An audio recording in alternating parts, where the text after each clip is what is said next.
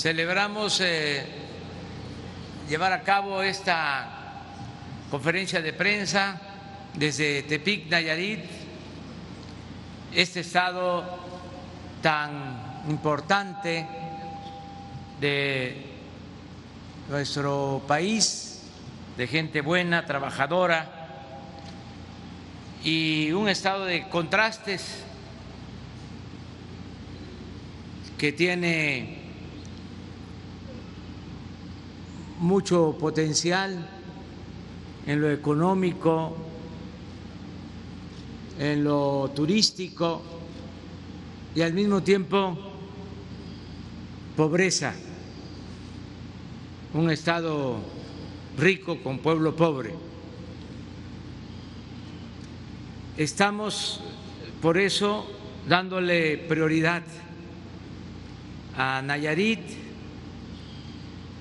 Tenemos una muy buena relación con el gobierno del estado, con el gobernador Antonio Chavarría. Hemos trabajado de manera conjunta, en forma coordinada y se ha ido avanzando.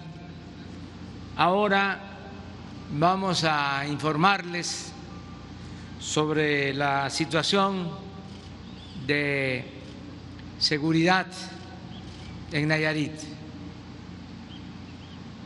Aquí eh, ha habido un cambio de 180 grados antes imperaba la violencia en Nayarit y ahora se ha convertido en uno de los estados más seguros de México. De modo que sí se puede garantizar la paz, la tranquilidad, cuando se atiende al pueblo, cuando se procura justicia y también cuando no hay corrupción y no hay impunidad. Siempre lo he sostenido.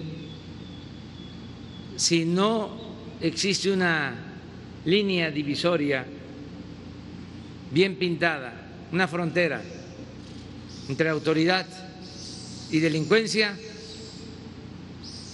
no se avanza. Cuando la delincuencia domina en los gobiernos, no hay seguridad para el pueblo.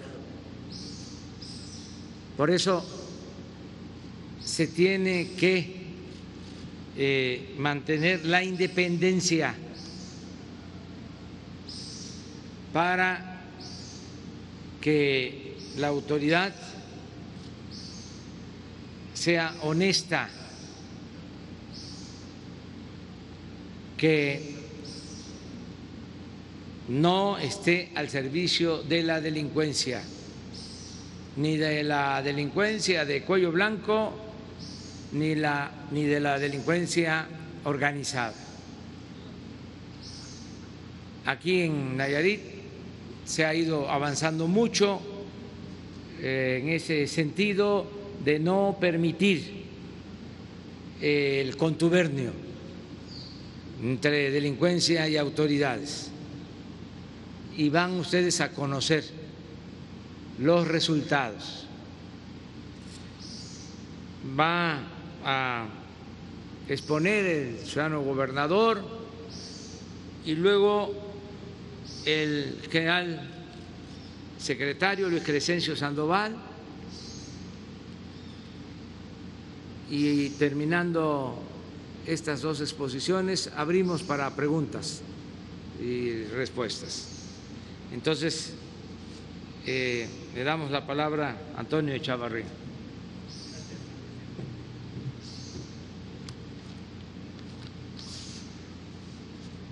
Medios de comunicación nacionales, locales, muy buenos días a todos.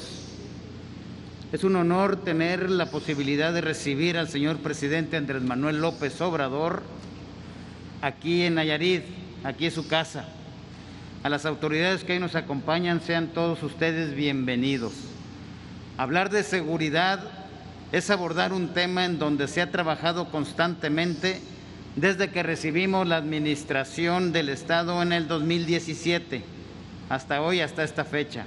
Ha sido un esfuerzo en conjunto y en coordinación con los tres niveles de gobierno. Y hoy los resultados nos demuestran que vamos por buen camino. Quiero hacer mención que la Mesa de Seguridad de Nayarit ha dejado constancia de su eficacia y su cabal coordinación se revisan a diario la estrategia contra el crimen y se orienta en los acuerdos para la mayor eficiencia en el cumplimiento de los objetivos. Nayarit seguirá en el camino de la ley y del derecho. En la distancia de la mesa de seguridad se opera la política de combate al crimen y así lo seguiremos haciendo. Quiero comenzar diciendo que en 12 de los 15 indicadores particulares que considera el ranking nacional de delitos elaborado por el Secretariado Ejecutivo del Sistema Nacional de Seguridad Pública, Nayarit aparece dentro de los 10 estados más seguros del país. En el rubro de homicidios dolosos, nos encontramos en el lugar número 22 con 80 casos en lo que va del 2020 con respecto al delito del secuestro, hemos trabajado muy duro para alcanzar la posición número 28 con apenas un caso en lo que va del año. En el tema de robo de vehículos, ocupamos también la posición número 28 a nivel nacional con 112 incidencias hasta junio del 2020. En cuanto a extorsión, nos ubicamos en el lugar número 28 con apenas tres casos durante los últimos seis meses. En el delito de trata de personas, Nayarit se posiciona en el lugar número 22 nacional con dos casos. Respecto a los distintos tipos de robo que se consideran en este ranking, vemos que el buen trabajo de nuestras autoridades de seguridad ubican a Nayarit dentro del top 5 nacional de los estados más seguros. Por ejemplo, en el robo a casa habitación, nos encontramos en el lugar número 31 con 61 casos. En el robo de transporte somos el lugar número 28 a nivel nacional y hemos registrado apenas un solo caso en lo que va del año. En el delito de robo transeúnte me da alegría informar que somos el estado más seguro del país en este rubro, con cero casos registrados en este 2020. También en el robo transportistas, Nayarit se posiciona en el lugar 30 del ranking con una incidencia de cero casos. En el apartado de robo de negocio, el Estado es el número 32 con apenas 93 incidencias. A pesar de las cifras alentadoras que he mencionado, en nuestro Estado aún tenemos algunos retos que superar. Un ejemplo es el delito del narcomenudeo, donde somos el lugar 18 a nivel nacional con un registro de 69 casos en 2020. En lesiones dolosas ocupamos la posición 30 con 69 casos durante los últimos seis meses. En el tema de violencia familiar, Nayarit se ubica en el peldaño número 28 con 404 casos. Otro de los frentes que debemos reforzar conjuntamente son los delitos de feminicidio, pues ocupamos el lugar 18 a nivel nacional con siete lamentables muertes en lo que va del 2020. Cabe aclarar que estos siete casos ya han sido resueltos y en algunos ya con sentencia.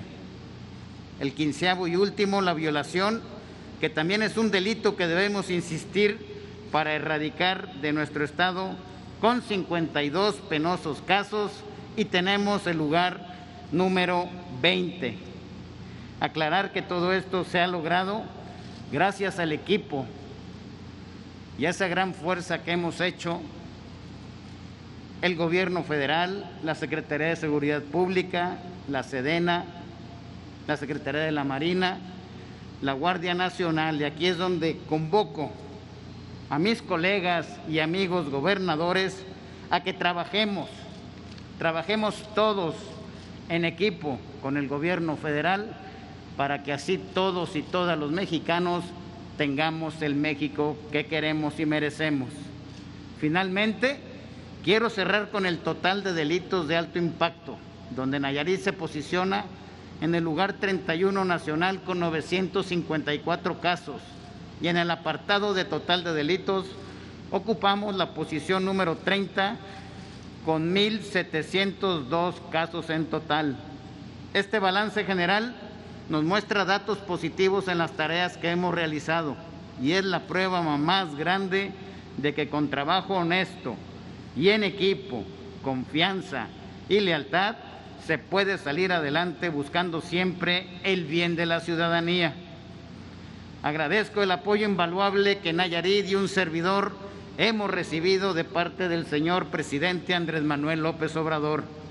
Muchas gracias por su respaldo también a mi general secretario Luis Crescencio Sandoval González, a mi almirante José Rafael Ojeda Durán, secretario de Marina, al doctor Francisco Alfonso Durazo Montaño, secretario de Seguridad y Protección Ciudadana de México, a mi general de brigada diplomado de Estado Mayor, Luis Rodríguez Bucio, comandante de la Guardia Nacional, y por supuesto a mi gran amigo, al licenciado Leonel Cota Montaño, secretario ejecutivo del Sistema Nacional de Seguridad Pública. Sigamos así, haciendo alianza por el bien del pueblo de Nayarit y de México. Muchas gracias, señor presidente.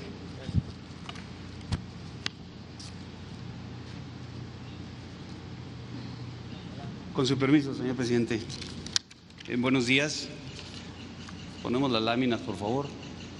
Eh, el estado de, Nayarit cuenta con 27 municipios y ahí ustedes pueden observar que nueve de ellos eh, está más de la mitad de la población. La población es, es de 1.223.797 habitantes y en estos nueve municipios está más del 50%. Y ahí ubicamos tres municipios, Tepic, Santiago de Iscuincla y Bahía Banderas, que posteriormente los vamos a ver que coinciden con los lugares, los municipios en donde se tiene una mayor presencia de los delitos que aquí en el Estado ocurren. La que sigue, por favor. Como ya lo citó el señor gobernador y en base a, la fuente que es el Secretariado Ejecutivo del Sistema Nacional de Seguridad Pública, estos delitos son los a los cuales les da seguimiento eh, el secretariado y todos eh, están a la baja. Eh, el delito que, tiene una mayor preponderancia aquí en el Estado es el narcomenudeo, ocupa el 18 lugar. la media nacional es de 110.28 eventos, aquí son 35.39. El, el, robo a casa habitación eh, aunque está subiendo, pero también en relación a la media nacional, al lugar que ocupa, es eh, sumamente eh, bajo. Vamos a ver las, gráficas. la que sigue, el robo autotransporte, pues apenas en el mes de junio hubo uno, cuando todo el, el año han estado sin ninguno de estos delitos. Aquí tenemos las gráficas 17, 18, 19 y en el 20 solamente uno. Adelante homicidios dolosos. Aquí también eh, hay una ah, baja, podemos ver el acumulado. En el 2019 168 eventos, en el 2020, en lo que va del año, 80 únicamente. El robo a transportistas, no existe este delito, la que sigue. Violación, eh, la violación eh, el acumulado en el 2019 son 115 eventos, en lo que va del año 2020 eh, son únicamente 52. Entonces, eh, también con una tendencia a la baja. Secuestros, de igual manera, una tendencia a la baja. Tres en el 2019, número muy reducido, uno en este año. Extorsiones, eh, aquí este delito había venido con, con ceros. Eh, en mayo se tiene uno, en junio se tiene dos de estos eventos. Robo a casa habitación, también un delito que vemos 103 en el acumulado el año pasado y este año 61. El robo a vehículos, también con una tendencia hacia la baja, con 281 eventos el año pasado eh, y 112 en este año. Y si comparamos con el 2018, que tenían 703 eventos, hay una reducción sumamente importante. Narcomenudeo eh, es un delito en el que tiene una tendencia a la, baja, pero han tenido una presencia importante en esto. Aquí se observa el trabajo de las autoridades para evitar este delito, que es el que tienen más eh, presente, considerando todos los delitos que eh, le da seguimiento el secretariado, como ya mencioné.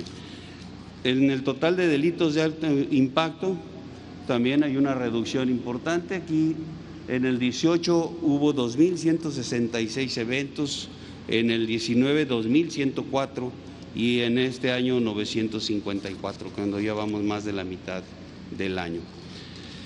Eh, homicidios dolosos por entidad federativa en la presente administración y considerando hasta el mes de junio, el Estado ocupa el 26 lugar, Eh, tiene eh, tres- 232 eventos, la media es 1.301. Si consideramos estos homicidios dolosos por cada 100.000 habitantes, el Estado ocupa el 22 lugar, eh, muy por debajo de la media, tienen 19.64 eh, eventos y la media es 39.43. La que sigue, por favor. Los, municipios de mayor incidencia delictiva, ya, ya lo citaba, Tepic, Bahía de Banderas y Santiago. Eh, lo- los delitos, lo que tiene de delitos el Estado eh, está principalmente en la parte central, la capital, y en Bahía de Banderas, eh, en la costa. Bien, en cuanto a fuerzas de seguridad pública del Estado, tiene un efectivo de 1.808 oh, elementos, pero en los tres primeros, en los tres en donde se concentra eh, eh, los, los delitos, ahí tiene más de mil elementos eh, cubriendo esas, esos municipios. Está atendiendo los lugares donde tienen el problema. Adelante, por favor. En cuanto a fuerzas de, seguridad federal, se tiene eh, un total de 2.424 con 1.266 eh, elementos operativos. Estos eh, operativos están en todo el estado, en las dos coordinaciones de la Guardia Nacional que, que tiene, en la que se divide el estado.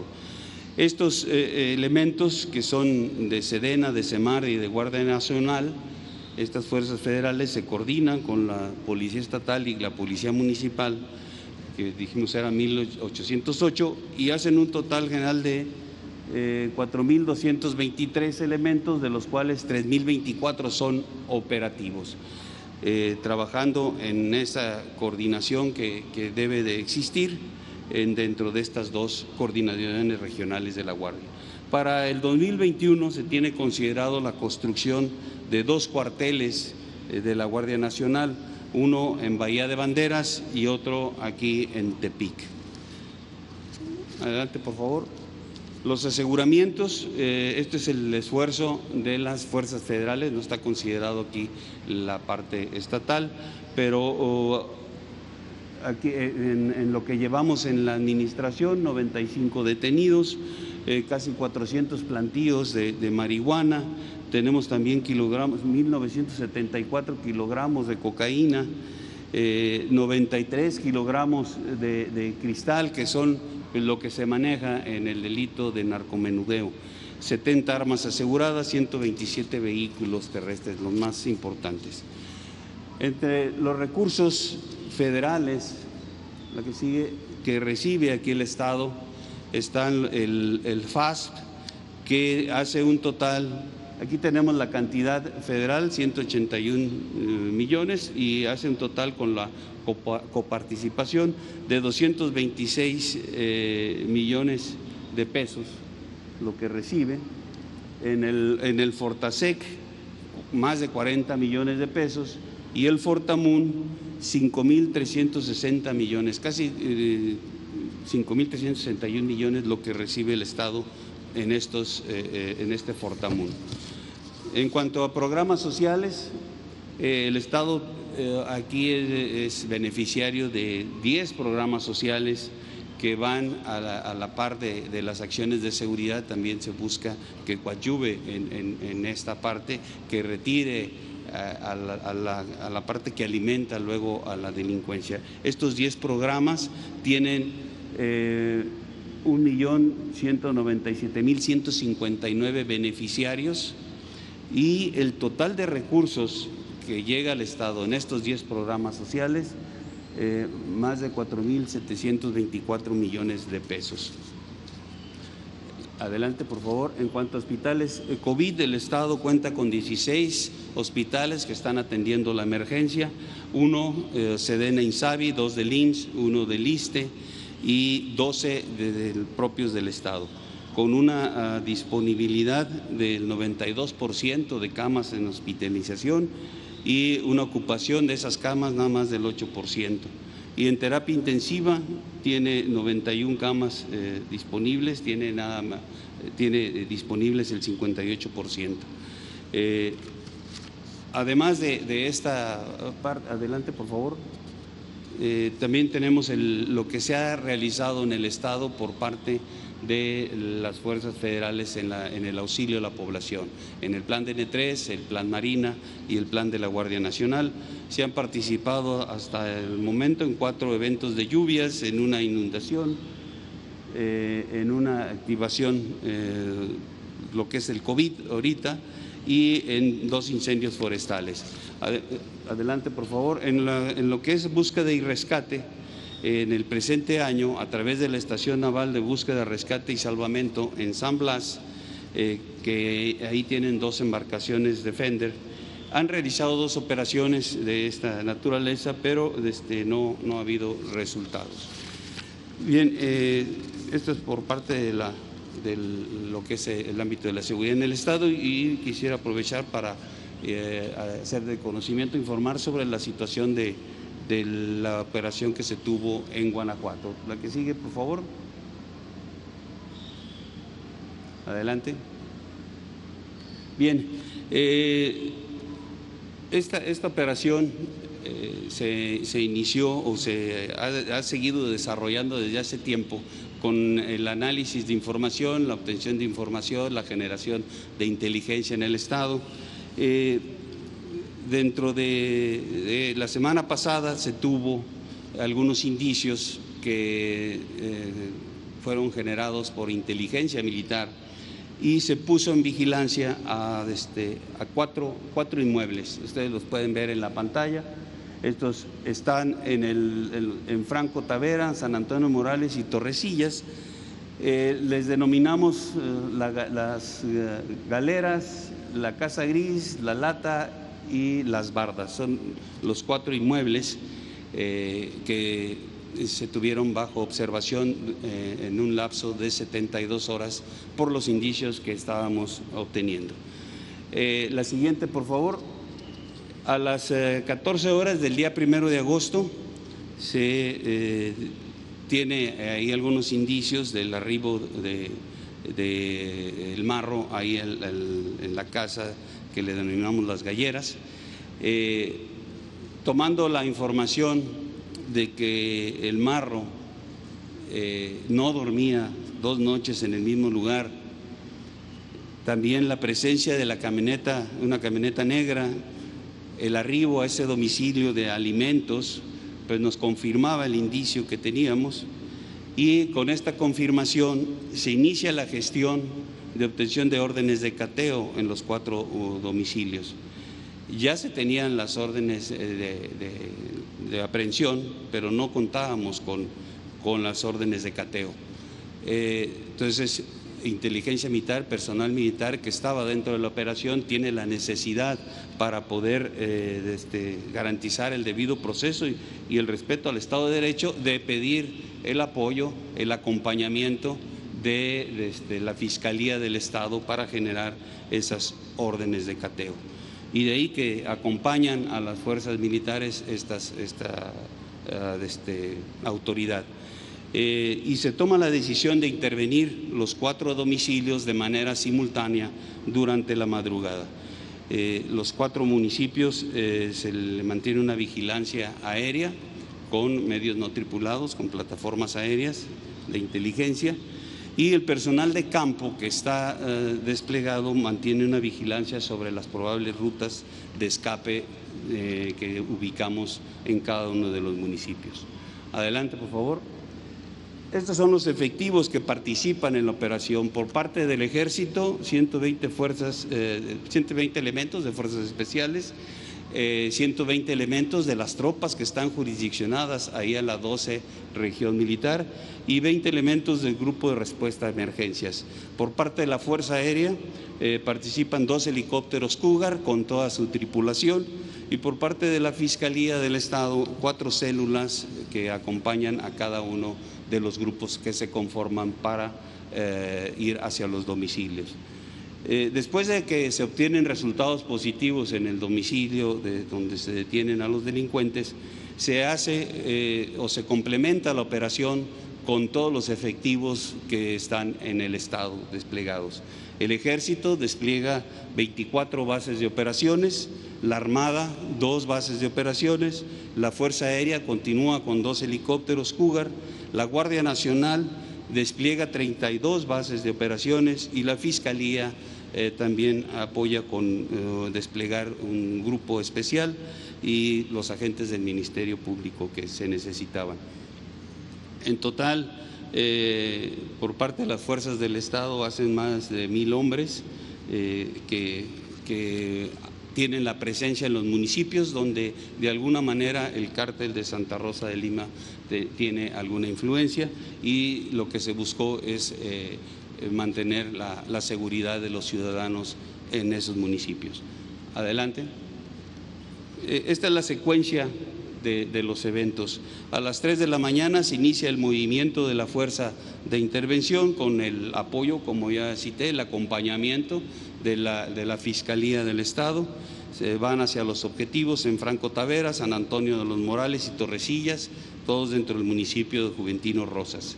A las 3.25 se arriba al área para iniciar los cateos, los cuatro, los cuatro de manera simultánea.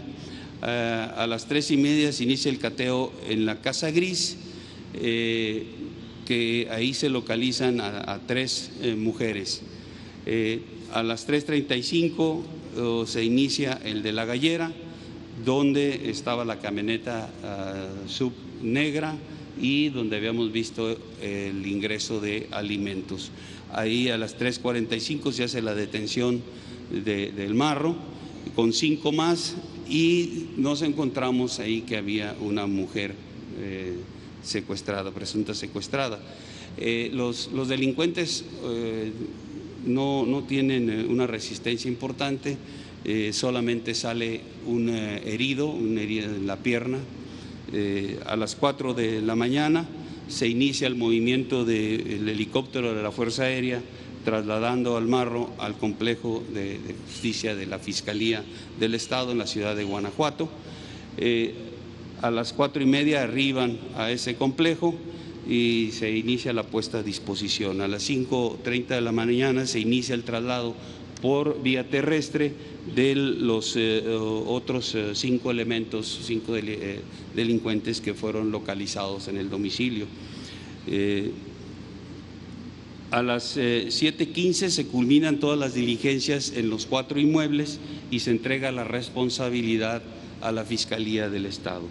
Se requirieron 15 minutos para la detención, 45 para ser puestos a disposición del agente del Ministerio Público, en total, desde que se pone en ejecución la operación hasta su eh, culminación, fueron cuatro horas con 15 minutos. ¿Cuáles fueron los resultados? Aquí lo vemos en el inmueble de Las Galleras. los, los detenidos, los seis detenidos. Eh, el Marro ya tenía una orden de aprehensión eh, por parte de la Fiscalía General de la República por robo de hidrocarburos y delincuencia organizada y también orden de aprehensión por parte de la Fiscalía del Estado por homicidio y secuestro. Y eh, al encontrar una persona secuestrada ahí en el inmueble, pues ya también se incluye la flagrancia en ese delito. Saulo Sergio, eh, el cebollo, es el lesionado con arma de fuego. Él está, eh, permanece aún en el Hospital General de Guanajuato. Este es el presunto jefe de seguridad del Marro y los eh, cuatro integrantes de, la escolta personal del Marro. Se aseguraron cinco armas largas, tres armas cortas, un lanzagranadas y un artefacto explosivo y 150 mil pesos. Eh, también pues eh, la persona liberada, una mujer de 52 años, víctima de secuestro. En la casa, en el inmueble de la Casa Gris, aquí eh, los resultados fueron tres mujeres. La primera, Angélica N., tiene orden de aprehensión por parte de la Fiscalía General de la República por delincuencia organizada y es la presunta operadora financiera y cuñada de El Marro. Aquí pueden ver las fotografías de, la casa donde se hizo la operación. Adelante. Entonces, resumiendo, en el inmueble Las Galleras, eh, detenido el marro con cinco elementos de su escolta y la mujer liberada. Aquí observamos las fotografías, el armamento, vehículos, eh, cuatrimoto y una motocicleta. Adelante. En la casa gris, las tres eh, mujeres detenidas, una con la orden de aprehensión. Adelante. Este es el informe gráfico, la detención este, del marro. Adelante. Aquí es cuando se está atendiendo a Sergio, a Saulo Sergio, eh, este, cuando sale herido, aquí se le está dando la atención por parte del personal militar. Eh, los integrantes de la escolta cuando son detenidos. ¿Qué sigue? Adelante. El armamento ya en forma conjunta, los vehículos. Bien, eh, a las, a las 22.30 horas del día de ayer, todos estos detenidos fueron eh, trasladados, recluidos en el cerezo de Puentecillas, ahí en la ciudad de Guanajuato. Eh, con esto queda eh, ya bajo responsabilidad ahorita, en estos momentos está bajo responsabilidad total del Estado de Guanajuato la custodia y la judicialización por lo que toca a los delitos eh, locales. Posteriormente, pues tendrán que enfrentar la cuestión de los delitos federales. Yo, quisiera aprovechar también para mencionar que, que bueno, las autoridades de Procuración de Justicia a los jueces, tanto de nivel estatal como, como federal, pues eh, eh, que cumplan con la responsabilidad que les toca eh, en estos momentos.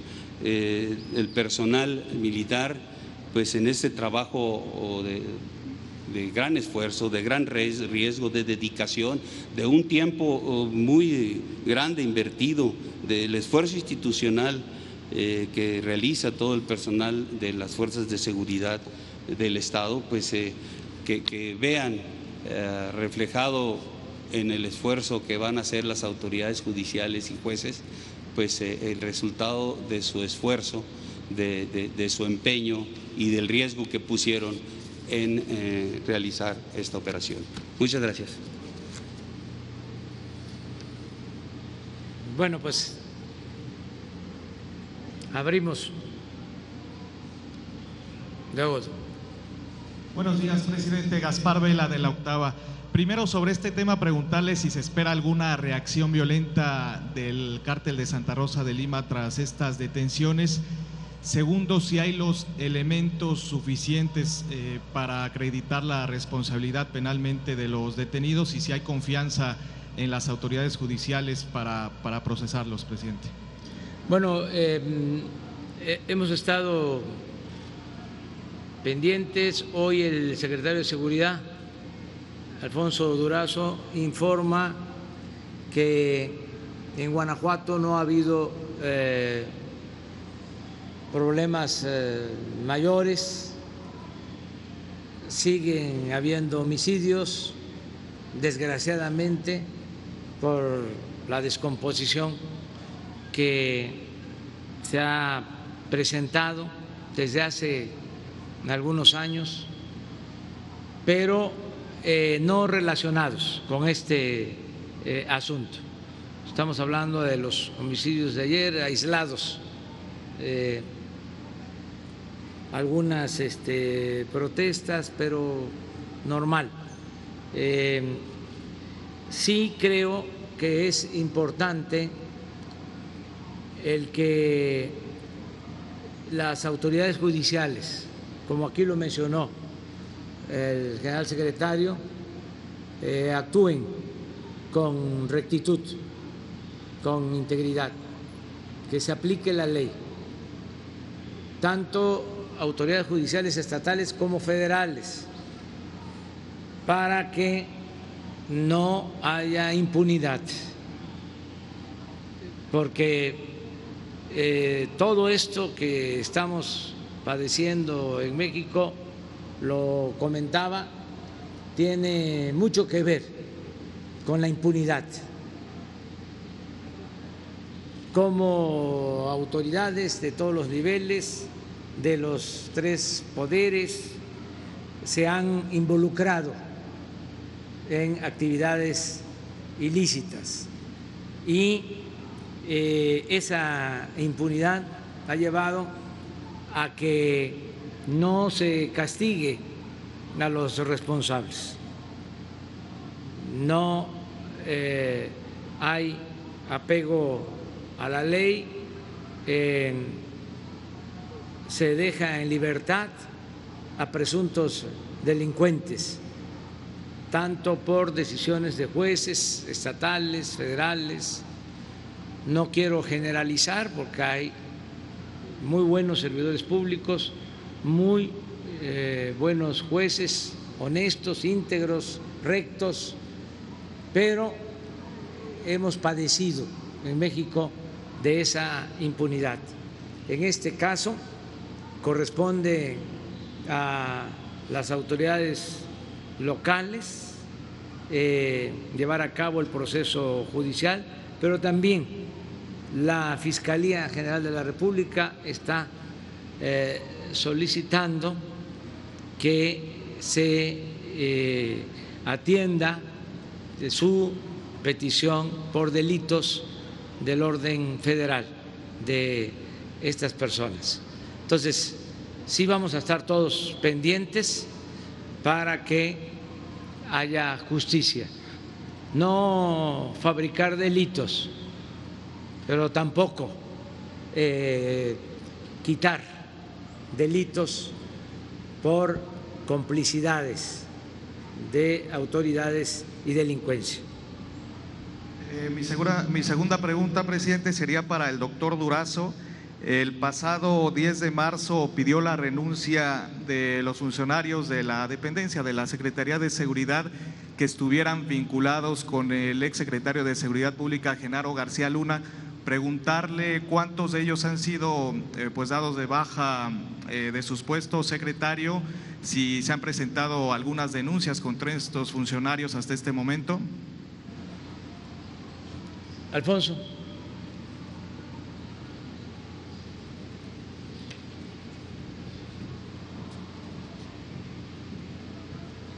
Eh, bueno, efectivamente recibimos la instrucción del presidente de revisar eh, antecedentes de personal que hubiese estado vinculado directamente a García Luna en virtud de las eh, complicidades que se generan en esas eh, relaciones.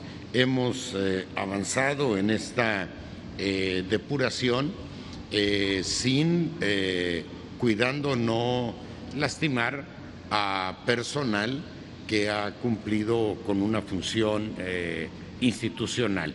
En el caso de la Guardia Nacional han sido eh, relevadas dos personas del rango de directores generales Eh, puedo proporcionar los nombres en un momento más. Se ha relevado igualmente a un director de administración en penales y a otros a otro personal de menor nivel pero de vinculación directa en el en la trayectoria profesional de Genaro García Luna.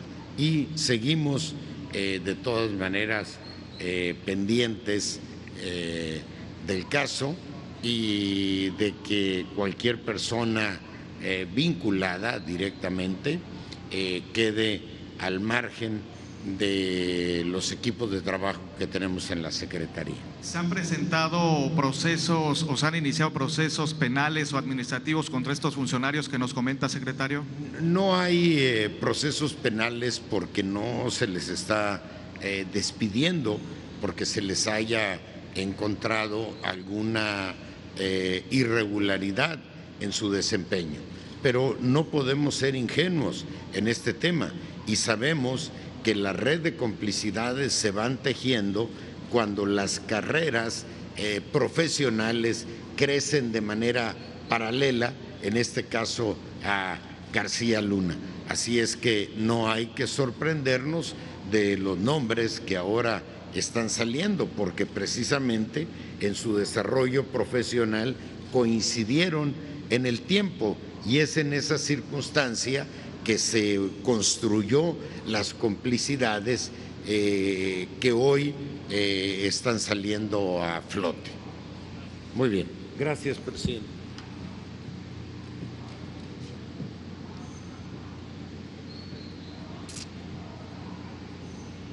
Bueno, los dos.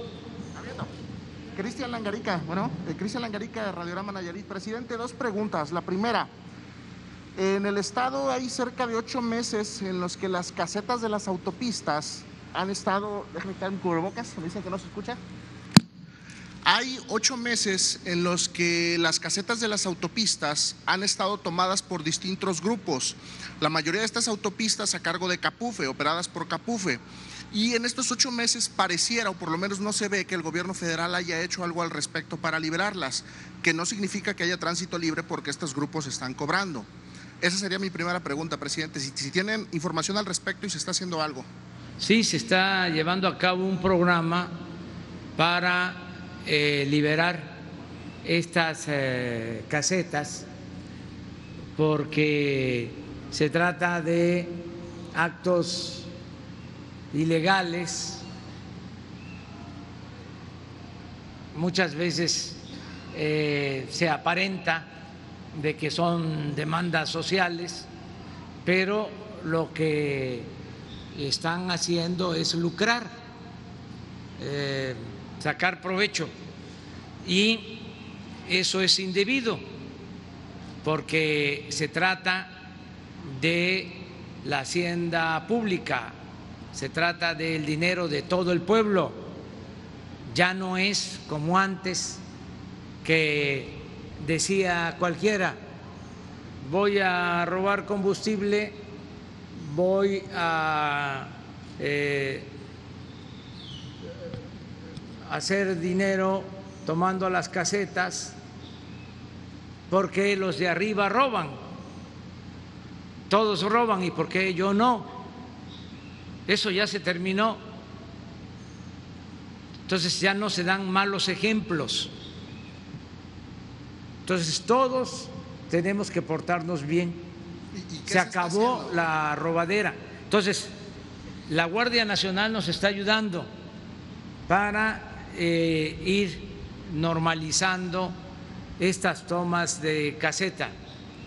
Hemos avanzado y eh, vamos a informar unos días más lo que se ha ahorrado, porque es como un huachicol, igual, guardadas las proporciones, lo que se ahorra y ese dinero es del pueblo, es para beneficio del pueblo y no debemos de permitir que nadie roba, ni arriba ni abajo se termina la corrupción. El segundo tema, presidente. Recientemente el gobierno del estado de Nayarit destinó patrullas y elementos eh, enfocados al tema de eh, violencia intrafamiliar, feminicidios. Eh, se, incluso se pintó patrullas de manera diferente para identificarlas que están dedicadas a esta actividad. En Nayarit registramos más de 20 feminicidios en 2020 y creo que en el tema, desde que inició la pandemia en marzo, llevamos seis. La pregunta para el gobierno federal es, en el ámbito de sus actividades, ¿qué hace el gobierno federal específicamente en este tema, no nada más en Nayarit, también eh, quisiera escucharlo, sino en el resto del país? En todo el país estamos eh, trabajando para la protección de las mujeres, para la protección de todos los ciudadanos y de manera eh, especial combatiendo este delito. Aquí en Nayarit por eso hacemos estas reuniones y se hacen todos los días, de lunes a viernes, de 6 a 7 de la mañana, a nivel federal. Es eh, el equipo, el gabinete de seguridad que nos reunimos para ver qué sucede en el país. Pero esto mismo se replica en los estados, en las mesas de seguridad. Y aquí en Nayarit se llevan a cabo esas mesas de seguridad y constantemente se está analizando la situación de seguridad o los problemas que se presentan de inseguridad en Nayarit y así en todo México. Y se revisan eh, todos los delitos, las incidencias y se combaten todos estos delitos. Hoy en el informe eh, de la mañana eh, el gobernador hablaba de los feminicidios cometidos en Nayarit, pero daba un dato que me gustaría que lo repitiera, de que han habido estos crímenes lamentables, eh, repugnables, eh, pero todos los eh, crímenes eh, se han aclarado y se ha castigado a los responsables aquí en Nayarit. Y este también es un ejemplo. Mi, pregunta iba en, torno a la prevención, a evitar, más allá de la sanción. Sí, todos los días hacemos eso. Y tenemos que trabajar mucho más en lo eh, preventivo. Ahora, antes de eh, terminar, quiero informar al pueblo de Nayarit de todo lo que se está haciendo en cuanto a desarrollo económico y a desarrollo social en beneficio del pueblo de Nayarit. Pero me gustaría que eh, el gobernador de informara sobre este tema.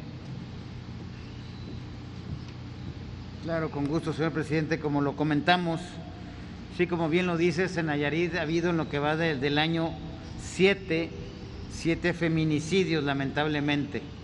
Y de los siete casos ya se han resuelto y en algunos, como bien lo saben los medios locales, ya se, se han resuelto y algunos ya, ya están hasta sentenciados. Y por ahí me decía, como siempre, respetando la autonomía de de la Fiscalía, que se han dado sentencias hasta arriba de los, creo, 50 años en, castigo en prisión, con cárcel.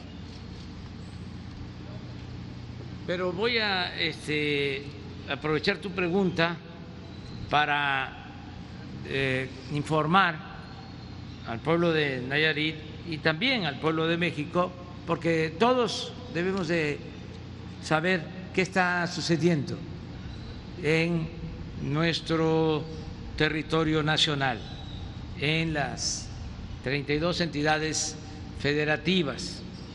En el caso de Nayarit, eh, se están llevando a cabo acciones para beneficiar al pueblo. Esa es eh, la base, es el cimiento, es el distintivo de nuestro gobierno. atender eh, las necesidades del pueblo para que de esa manera eh, logremos una sociedad mejor. Si atendemos las causas, si eh, hay empleo, si hay buenos salarios, si hay bienestar, vamos a tener paz y tranquilidad. No se va a resolver el problema de la inseguridad y de la violencia solo con medidas coercitivas. Eso hay que tenerlo muy presente. Antes había como una especie de enajenación, pensando de que solo con el uso de la fuerza se iba a resolver el problema de la inseguridad, de la violencia. Ahora es distinto. Ahora la base es que se garantice el bienestar del pueblo. Y eso permite eh, llevar a cabo acciones que garanticen la seguridad, pero eh, atendiendo las causas, del origen del problema. ¿Por qué creció tanto la inseguridad y la violencia? Lo hemos dicho muchas veces, porque se abandonó al pueblo, porque se le dio la espalda a los jóvenes. Hace dos años, tres años, que estaba eh, poco más eh, la violencia en su apogeo aquí en Nayarit, me tocó hacer la denuncia de cómo se eh, llevó a cabo una masacre aquí en Tepic, porque solo se usaba la fuerza.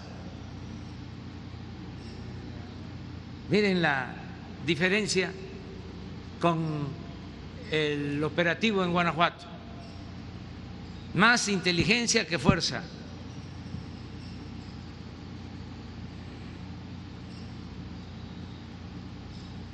Entonces, no es solo la fuerza, es atender las causas. Entonces, por eso le estamos dando atención especial como nunca a los jóvenes. Aquí en Nayarit, según mis datos, 8.235 jóvenes, 8.235 jóvenes trabajan como aprendices se les está apoyando con un salario mínimo para que se capaciten. Aquí en Nayarit, 2.683 jóvenes que estudian en la universidad reciben becas de 2.400 pesos mensuales, 2.800, 2.683 Aquí todos los que estudian bachiller, preparatoria, 41.783 jóvenes tienen beca. Este es un programa universal. Aquí también reciben becas quienes estudian en el nivel básico, 21 mil 360 alumnos. Aquí estamos eh, iniciando la construcción, la operación de una universidad en la Yesca, una universidad pública. Aquí, en Nayarit, hasta ahora 858 escuelas, 858 sociedades de padres de familia están recibiendo de manera directa sus apoyos para el mantenimiento de los planteles educativos. En Nayarit, 86.733 adultos mayores, todos los adultos mayores, 86.733 tienen su pensión y por la emergencia, por el COVID, se les han adelantado sus pagos. Ya está por terminarse de entregar todo el pago de pensiones a adultos mayores en Nayarit y en el país hasta el mes de octubre, lo que cubre hasta el mes de octubre. Solo quedaría pendiente el bimestre noviembre-diciembre. Aquí en Nayarit, 6.418 6.418 niñas y niños discapacitados tienen también su pensión.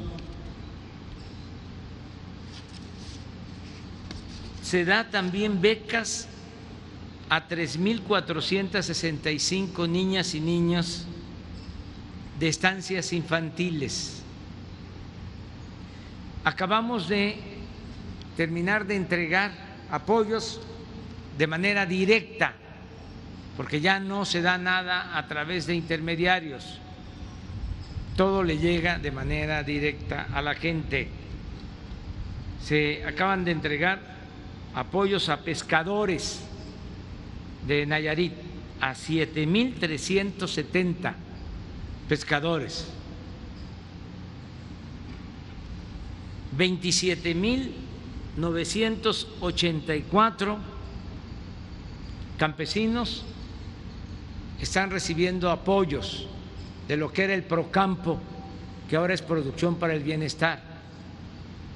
Ya se estableció el sistema de precios de garantía. Aquí en Nayarit se han beneficiado 7.460 productores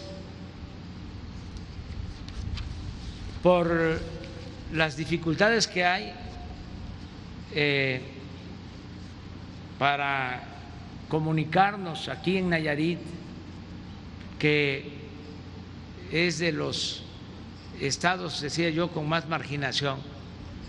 Los dos municipios eh, más marginados, bueno, tres, Guajicori, eh, el Nayare y la Yesca. Eh, tienen problemas por falta de caminos. Por eso, eh, aquí en Nayarit se van a construir 27, ya están en proceso, 27 sucursales del Banco del Bienestar. Se van a acercar los bancos a las comunidades. Este es un programa que va a ayudar mucho para que la gente no tenga que trasladarse horas eh, para cobrar sus apoyos. Eh, también aquí eh, se está haciendo un programa especial de mejoramiento urbano en Bahía de Banderas, también se va a trabajar en el Nayar, en Guajicori, en Rosamorada, en Santiago Escuintla, en Ruiz, en Tecuala y en Tuxpan. Eh, esto va a ser complementario a lo que ya hemos venido realizando porque se llevó a cabo un programa emergente por el Huila, por el huracán, por los daños que ocasionó ya eh, hoy en Tecuala vamos a evaluar de qué se ha realizado para la rehabilitación de poblados y de servicios públicos, de instalaciones que fueron dañadas, afectadas. También aquí se han entregado créditos a la palabra para eh, las pequeñas empresas que tienen trabajadores inscritos en el Seguro Social. Se les entregaron en estos meses por el COVID 87, 85 millones 700 mil pesos. Se benefició a 3.428 pequeñas empresas. Son créditos de 25 mil pesos a cada pequeña empresa. Y además se entregaron créditos a la palabra también a pequeñas empresas del sector formal y del sector informal eh, por 235 millones de pesos a 9.416 empresas. En total eh, se han entregado créditos en estos últimos tres meses a 13 mil pequeñas empresas aquí en Nayarit. Quiero también informar que ya comenzó el programa Sembrando Vida. Se está dando empleo permanente a cinco mil campesinos, legidatarios y pequeños propietarios para que siembren 25 mil hectáreas de árboles maderables y frutales, frutales y maderables aquí en Nayarit, 12.500 hectáreas este año, con 5.000 empleos permanentes.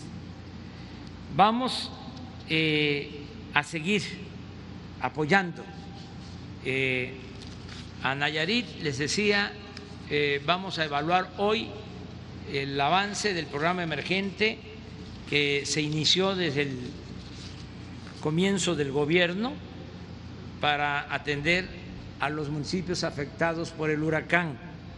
Eh, vamos a reforzar los programas sociales y eh, vamos a comunicar los municipios que no tienen camino pavimentado, sobre todo en el caso de la Yesca, que no tiene camino pavimentado a su cabecera municipal. Ya comenzamos a trabajar, ya empezamos a construir ese camino y vamos a comunicar con caminos eh, pavimentados a toda la sierra de Nayarit. Quiero también anunciar aquí, y ese es un compromiso, de que se va a terminar eh, la autopista, los tres tramos de autopista, de Vallarta a Tepic, de, Vallarta a Las Varas, que ya es una concesión, eh, la empresa está avanzando, lleva el 30 por ciento.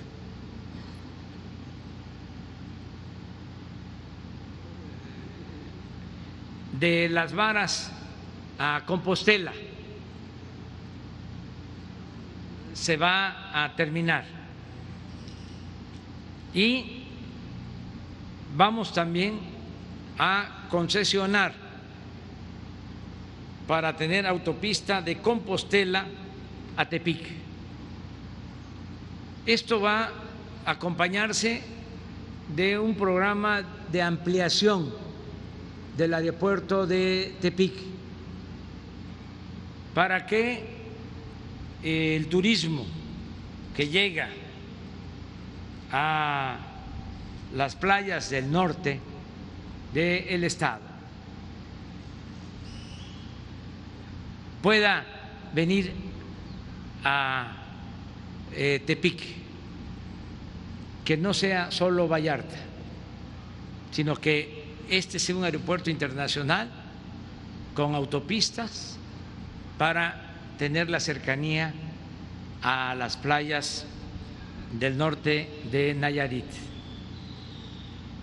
En el caso del aeropuerto se tiene la superficie suficiente para ampliarlo y para eh, mejorar sus condiciones, ampliar la terminal este es el plan que se tiene.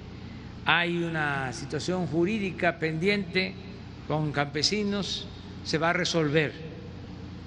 Vamos a ayudar eh, mucho a Nayarit y queremos que el desarrollo de Nayarit no solo se dé en los límites de Jalisco con este estado, no solo eh, en Bahía de Banderas, sino que se vaya eh, ampliando, vaya creciendo hacia el norte y se ayude eh, Tepic, que es la capital del estado.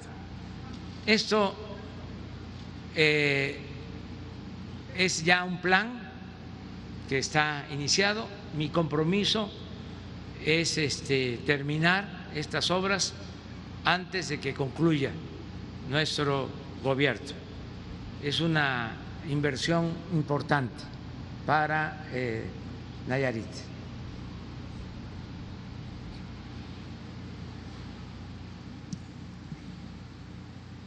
Buenos días, presidente. Buenos días a todos. Pedro Domínguez de Milenio. Eh, preguntarle, presidente, ¿qué información tiene usted y me gustaría también conocer su opinión personal sobre esta eh, presunta relación que da a conocer la unidad de inteligencia financiera precisamente entre el Marro y el exgobernador de Chihuahua, César Duarte, que presuntamente están vinculados en la compra de ganado fino, presidente? No tengo información este, eh, sobre esto. Lo que sí puedo decirles es que ya no hay eh, impunidad y mucho menos protección a presuntos eh, delincuentes. Hay cuatro casos que se están tratando. Uno es el del señor Lozoya, que yo espero que ya se informe sobre la red de complicidad que se construyó porque se afectó la hacienda pública y necesitamos recuperar eh, lo que se sustrajo para devolverle al pueblo lo robado. Independientemente de la justicia, independientemente de la enseñanza que eh, implica el conocer cómo operaban eh, estas bandas de delincuencia de cuello blanco, cómo se atrevieron a comprar senadores, diputados, cómo compraban las reformas. Lo del maiceo de Porfirio Díaz se quedó corto, o los cañonazos de Álvaro Obregón. Esto no tiene precedente. Por eso nos importa saber que la gente, que el pueblo sepa cómo imperaba la corrupción y explicarnos eh, por qué México teniendo tantos recursos naturales y un pueblo bueno y trabajador no podía salir adelante. Pues ¿cómo? Si se robaban todo. Me acuerdo de un discurso de un anciano respetable allá en mi pueblo que decía, Tabasco tiene todo, hay de todo, pero se lo clavan todo. Así está. México tiene todo, hay de todo, pero se lo clavaban todo. Entonces, Aparte de eso, pues lo que se va a recuperar, que no es nada más la detención, sino, a ver,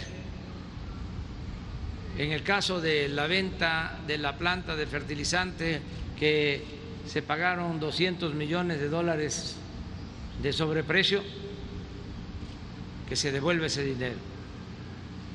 ese es el caso Lozoya. El otro caso, el del gobernador de Chihuahua, que se están dando a conocer propiedades, tanto en México como en el extranjero, también de muchísimo dinero.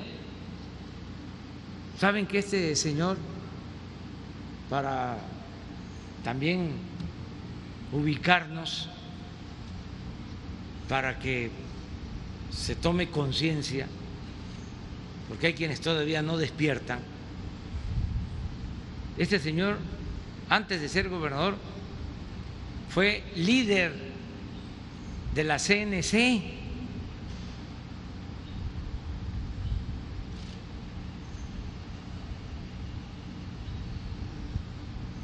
Dirigente de la Confederación Nacional Campesina y se vuelve un potentado.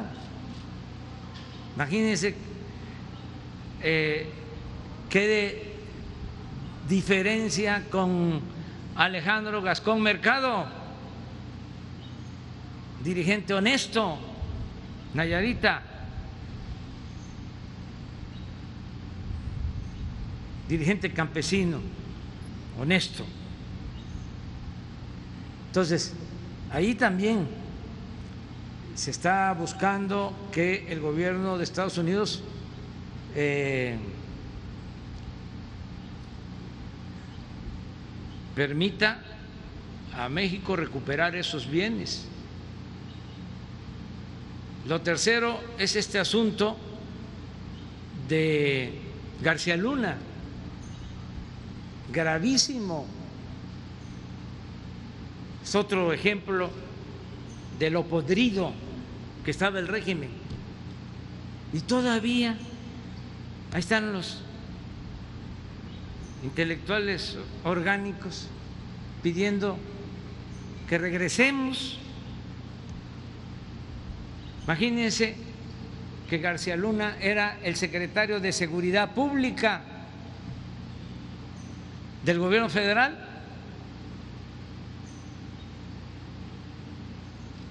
Y tenía tratos con uno de los grupos de la delincuencia organizada proteger a un grupo para castigar a otros. Y ahora se implica también en la investigación que está llevando a cabo un juez en Nueva York a dos de sus colaboradores más cercanos que fueron premiados en su momento como los mejores policías de México. ¿Dónde sucede esto? ¿En qué país? Son fresas las series de Netflix sobre delincuencia ante esta realidad. Y el otro asunto, esto de Guanajuato, del cartel de Santa Rosa de Lima. ¿Cómo tanto tiempo haciendo y deshaciendo? que nadie sabía, era muy difícil, estaba muy complicado. Pues eh, componendas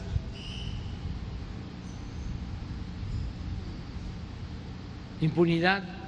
Entonces, estamos limpiando el país y esto nos va a ayudar mucho. En el mundo ya es distinta la imagen de nuestro país. Ya eh, incluso se está siguiendo el ejemplo de México en otras partes. Acabo de leer que en Francia el gobierno ya está aplicando el programa de apoyo a los jóvenes, lo que estamos haciendo nosotros. Mientras los conservadores nuestros, y digo nuestros porque como decía Juárez, los reaccionarios también son mexicanos. Critican de que por qué se le da apoyo a los ninis. ¿Qué quieren? ¿Que se les dé la espalda a los jóvenes para que los enganchen y se los lleven las bandas? ¿Eso es lo que quieren? ¿Que sigamos con la misma política de abandonar y de marginar a los jóvenes?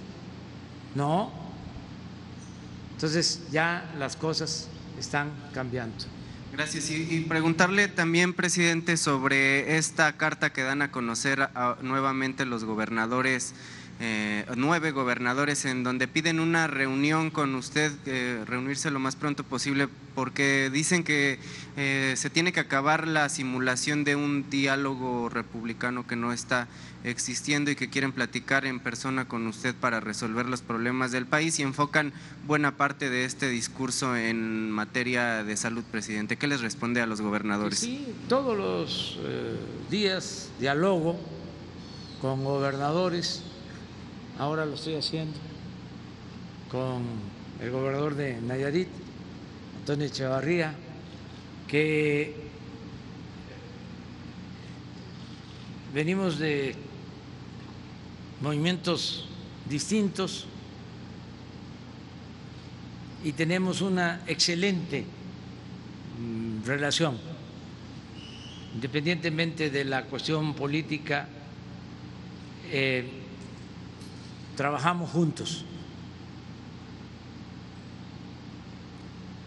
Y hay eh, respeto y hay coordinación. Pero también hay que decirlo, vienen las elecciones. Y entonces, eh, pues hay ruido, hay bulla hay alboroto, como pasa en cualquier país del mundo. Nosotros vamos a seguir actuando con responsabilidad. Acabo de estar con el nuevo presidente de la CONAGO, que es el gobernador de San Luis Potosí, y me comprometí a reunirme con todos los gobernadores en San Luis Potosí. Vamos a llevar a cabo una reunión en 10 días. Creo que terminando esta semana, la, la, próxima, sí, como en 8 o 10 días. Vamos a estar en San Luis porque voy a hacer una gira, me faltan otros estados, nos faltan estados del norte que vamos a ir eh, y vamos a aprovechar para hacer una reunión con los eh, gobernadores. Sí, sí, este, y los acabo de ver y acabo de platicar con ellos, con el gobernador de Jalisco, con el gobernador de Guanajuato, con el gobernador de Colima, Pero yo estoy abierto al diálogo, siempre.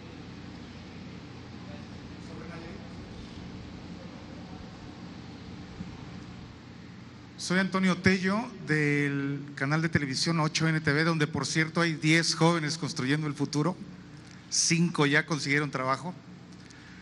Quiero preguntarle acerca del proyecto de Islas Marías, cómo va, si va avanzando o se ha detenido, y reiterarle lo que le dijimos aquí eh, la última vez que vino, que sea San Blas, desde donde Islas Marías se esté administrando y no de Mazatlán, no sé qué le parezca esa propuesta, y preguntarle también sobre el proyecto de traer a Fonatur, la sede de Fonatur, aquí a Nayarit, y ese proyecto que había de descentralizar al gobierno federal en los diversos estados. Gracias, presidente.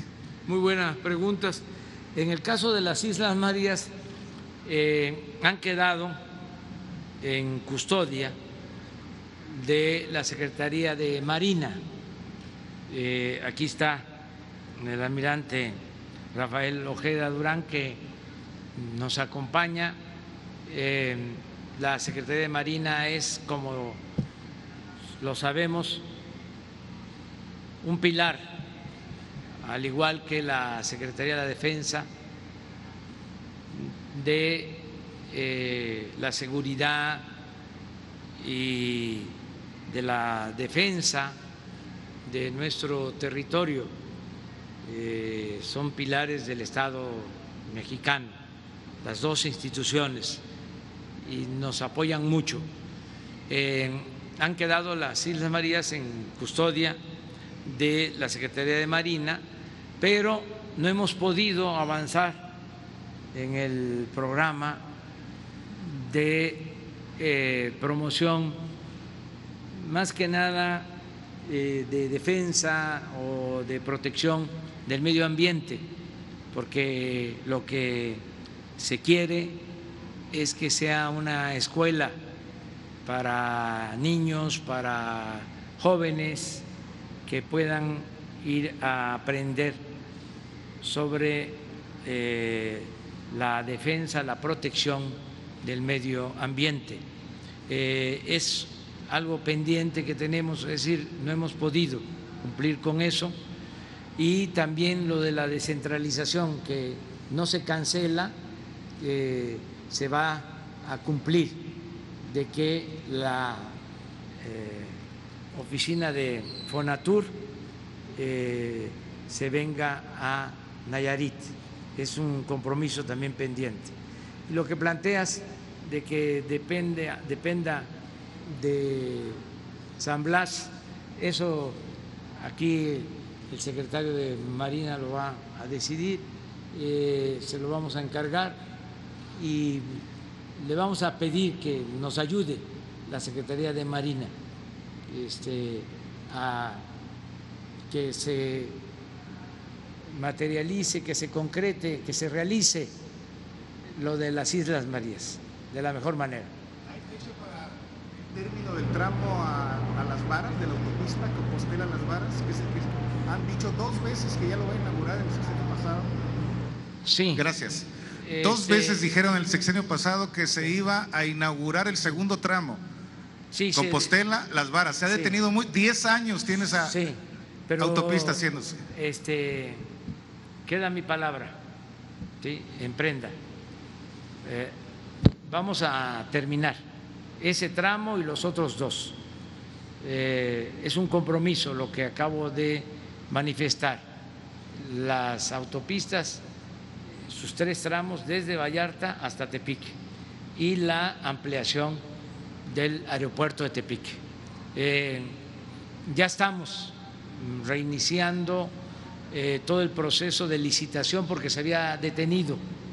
Eh, el gobernador acaba de estar en México, hablamos de este tema y ya el ingeniero Jorge Arganis y el director de Banobra, Jorge Mendoza, ya tienen instrucciones para que en los tres tramos este, iniciemos, eh, o mejor dicho, continuemos e iniciemos. Solo no se ha iniciado el de Compostela Tepic. Sí está en proceso las varas Compostela y está en proceso las varas hasta Puerto Vallarta. Eh, es una empresa, la de las varas Puerto Vallarta, seria, han tenido algunos problemas también de trazo. Es una empresa constructora de una eh, sociedad en la que participa Carlos Slim. Entonces yo estoy seguro que van a cumplir. Llevan ahora, eh, según el informe que me entregaron, 30% de avance en esa. En la otra, la de las varas a Compostela, eh, lo mismo, ya se han invertido alrededor de 2.500 millones, pero todavía no se termina porque eh, faltan tramos, quedó inconcluso.